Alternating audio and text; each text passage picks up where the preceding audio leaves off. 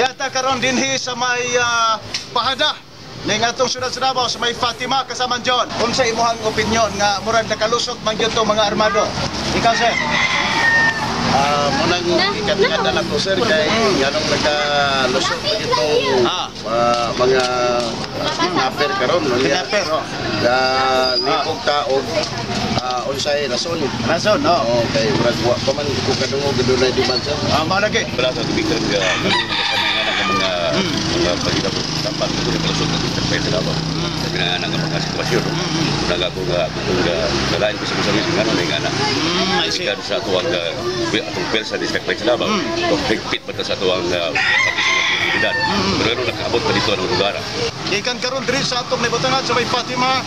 Bahagian dengan tuan kedak baik sudah. Jenis kasaban tudung rin lobos boga tata arimen.